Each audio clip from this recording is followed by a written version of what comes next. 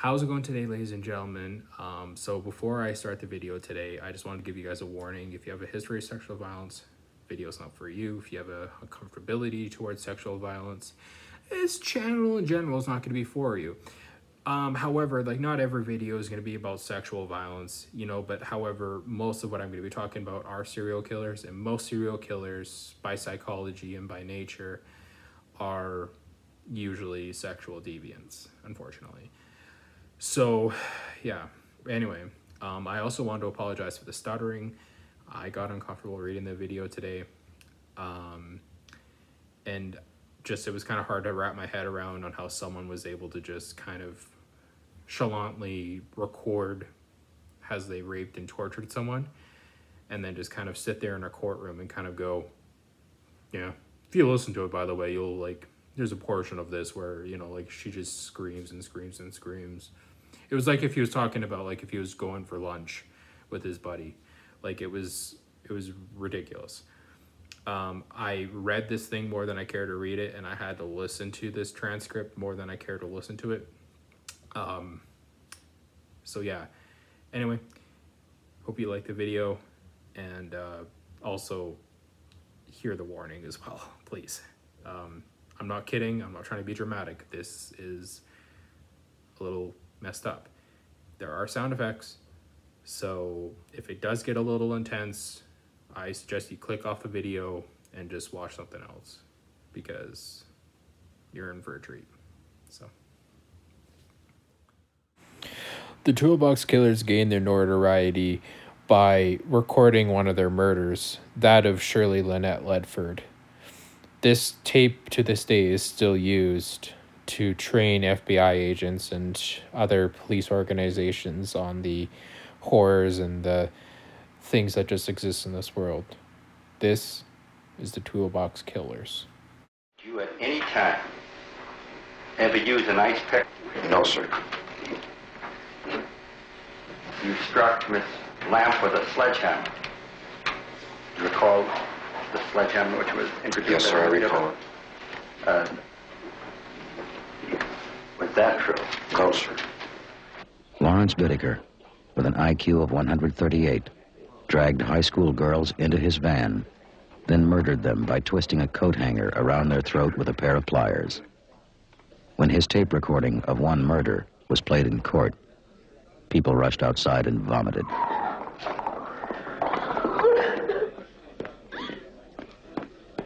They touched Miss Ledford on the breast with cold metal pliers. And if you listen to the tape, you'll hear those tire- pliers being replaced in a f- toolbox a few seconds later Oh, what, what did you touch her on the breast for with a pair of pliers?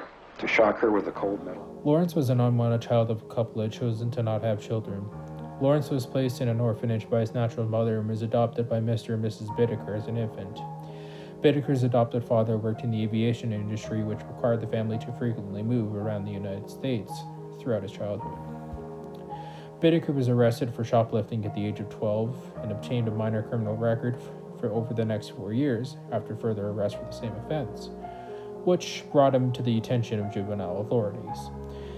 Bittaker would later claim these numerous theft related offenses committed throughout his adolescence had been attempts to compensate for the lack of love he received from his parents. Although reported to have an IQ of 138, Bittaker considered school to be a tedious experience and dropped out of high school in 1957. By this stage in his adolescence, he and his parents were living in California. Within a year of dropping out, he had been arrested for car theft, a hit and run, and evading arrest. For these offenses, he was imprisoned at the California Youth Authority, where he remained until he was 18 years old. Upon release, Bittaker discovered his adoptive parents had disowned him and relocated to another state. He would never see his adoptive parents again. Norris was conceived out of wedlock. His parents had married to avoid the social stigma surrounding illegitimate birth at the time. Norris's extended family lived in within a short distance of his parents' home due to his grandfather's real estate investments. His father worked in a scrapyard and his mother was a drug addicted housewife. He occasionally lived with his parents throughout his childhood and adolescence, but was repeatedly placed in the care of foster families throughout the state of Colorado. Norris's childhood recollections were intersped with memories of wrongful accusations while living with his biological parents, and being neglected by many of the foster families he'd lived with, frequently being denied sufficient food or clothing. He also claimed to be sexually abused when in the care of a Hispanic family, later stating the prejudice he held towards Hispanic people originated from the neglect and abuse he endured as a child when placed in the care of this family. Living with his birth parents at the age of 16, Norris visited the home of a female relative who was in her early 20s and began speaking to her in a sexually suggestive manner. She ordered him to leave her house and informed Norris's father, who threatened to subject him to a beating. Norris subsequently stole his father's car and drove into the Rocky Mountains, where he attempted to commit suicide by injecting pure air into the artery in his arm. He was later apprehended as a runaway and returned to live with his parents Upon his return, Norris's parents informed him that he and his younger sister were unwanted children and that they intended to divorce when both reached adolescence.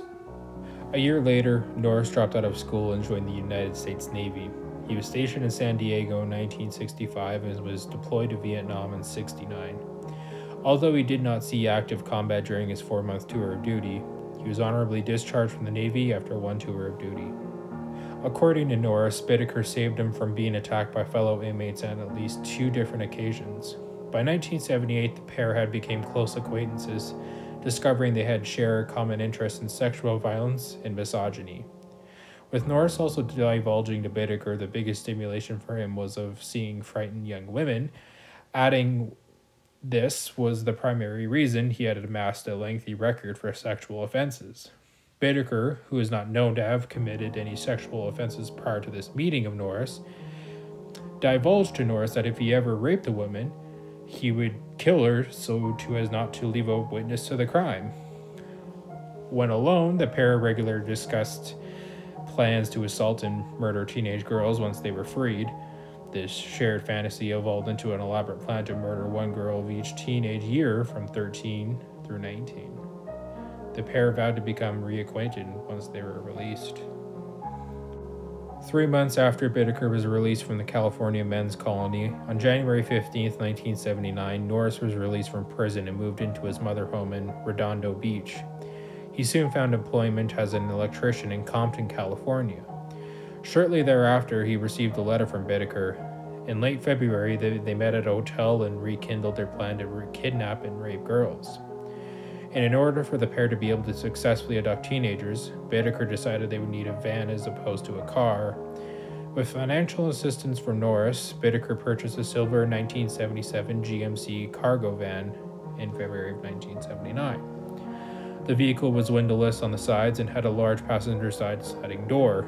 According to Bittaker, when viewing this sliding door, he realized he or Norris could pull up to a teenage girl, real really close, and not have to open the doors all the way. Bittaker and Norris would nickname this van Murder Mack. From February to June 1979, Bittaker and Norris picked up over 20 female hitchhikers. The pair did not assault these girls in any manner. These were practice runs, and they were merely a way for them to develop ruses to lure girls into the van voluntarily and discover secluded locations. In late April, the pair discovered a secluded fire road located in the San Gabriel Mountains. Bittaker broke the lock gate to this fire road with a crowbar and replaced the lock with one he owned. On Halloween night, 1979, at approximately 10:30, Lawrence and Roy drove into the Sun Valley where they encountered Shirley as she hitchhiked home from the job she held as a waitress. Shirley was unknown to Norris, but a familiar face to Bittaker, who knew the girl well as he frequented the restaurant where she worked. Within five minutes of Shirley entering the van, Bittaker had driven to a quiet side street where he slammed on the brakes of the van before throwing Shirley from the passenger seat into the rear of the van. Norris then wrestled her to the floor, stripped the clothes off the terrified girl, bound her hands behind her back. Bittaker then traded places with Norris, who drove as Bittaker remained in the rear of the van with Shirley. Instead of driving to the San Gabriel Mountains where they usually tortured and murdered their victims, Bittaker immediately turned on the tape recorder and started slapping and beating Shirley.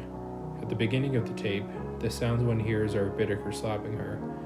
Then towards the middle, the sounds are of Bittaker beating her about the chest with his fist and tormenting the screaming and pleading girl with vice grip pliers on her genitals, breast, and nipples. Towards the end, the sounds are of Norris beating her over and over, more than 25 times with a hammer upon the same elbow. After he had done so, Shirley emitted painful, strained screams of agony as she wailed and wept. Norris simply asked her, What are you sniveling about? As Shirley's arms were bound behind her back, she would not even have a normal human reaction, being able to attempt to move her arms in response to the acute pain at this point without aggravating the injury. Soon after the tape ends, Bittaker pulled the over van over and joined Norris in the rear of the van. Norris then took the coat hanger, wrapped it around Shirley's neck, twisting it as tight as they could with the lock pliers until she was dead. The 16 year old child's agony was finally over. Bittaker then decided it would be interesting to drop the body off on a stranger's front lawn in order to gauge the reaction from the press. So they picked up a random yard in Hermosa Beach and left Shirley ravaged and broken body lying in the center of an ivy bed upon the lawn. The body was found by a horrified jogger early in the next morning. This is just part of the transcript of the tape these two men, quote for quote, recorded in the van with Shirley. It does not include extensive periods where all one hears are Shirley's heartbreaking screams, weeping, gasps of pain, agony, and wailing. This is the most descriptive and comprehensive version of the transcript of Shirley Lynette Ledford's murder, and possibly one of the most gruesome things I've ever read. Um, and it's just a that that you know, and it makes it a little more real because this wasn't a horror movie. This was a real life incident, and it was like if they were real life monsters. So, if you have any history of sexual violence, this is where I suggest you stop. So, without further ado, this is the murder of Shirley Lynette Ledford of October 1979. The tape begins with Bittaker slapping Shirley, mid mocking her and tormenting her by constantly slapping her face. After a certain point, Shirley begins to cry profusely as she's trying to make sense of her situation. She begs Bittaker to stop hitting her, saying again, No, just don't touch me. Given what Bittaker next says, it is unlikely Shirley crawls into a ball and turns away from him as she weeps. He then starts slapping her again, mocking her. And then he starts beckoning her to come on over here and starts sucking me off. And she goes, Suck on what? Suck on what? Bittaker says. What's this? Bittaker then beckons towards his, his penis. Bittaker then says, Yeah, I want you to suck it. And then, like if he was directing a porno, he's he wants to Ledford to start saying, What are you doing? She goes, Sucking on your dick. What are you doing? Sucking on your dick. And then he starts asking Ledford, I want you to beg me to start sucking on your dick. After a while, Bittaker had forced Shirley to fillet him. Repeated sounds of administered beating, intersped with loud screams, can be heard as Bittaker savagely beats Shirley about the breast and to a lesser degree her head. Bittaker then extracted his pliers from the toolbox. Shirley then emits several high pitched, prolonged screams and cries of agony as Bittaker alternatively squeezed and twists her labia, clitoris, nipples, and breasts with the pliers. Bittaker then returns the pliers to the toolbox. Banging sounds can also be heard throughout, which are believed to have been made as Shirley came into contact with the walls and inner contacts of the van, she rather than flailed in pain. Bittaker asks, Is the recorder going? Norris replies, Yeah. And then more screaming is coming out of Ledford at this point. He's basically telling her to scream and scream and scream. And he's just basically, you know, saying, You know, I want you to continue just doing these things to me. And then a sharp, shrill scream, followed by wailing sounds, follows. It is believed to be at this point when Bittaker, having already sodomized Shirley, inserted the pliers into her rectum and twisted them, tearing and splitting the lining inside of her rectum. Banging sounds can be heard again as Shirley came into contact with the walls and the inner contents of the van as she again writhed in flailing pain, screaming and screaming and screaming, and just no one was there to help her. At this point, Norris came from the front of the van in the driver's seat and traded places with Bittaker as Shirley lay crying and moaning in the back of the van. Three of the four victims previously killed had all been vaginally raped by Norris, but as Bittaker had viciously torn Shirley's genitals and him with his pliers, causing her to bleed, Norris did not vaginally or anally rape her. Instead, Norris forced the already agonized girls to fillet him and switch on the tape recorder himself. More screaming can be heard from Ledford, and then unintelligible sounds are heard intersped with sounds of Shirley Ledford crying and moaning. Sounds of Norris extracting the sledgehammer from the toolbox can then be heard. As Shirley, seeing him do this, she begins crying and shouts, Oh no, oh no. And screams in fear again, shouts, Oh no, before again screaming. Norris strikes Shirley on the elbow.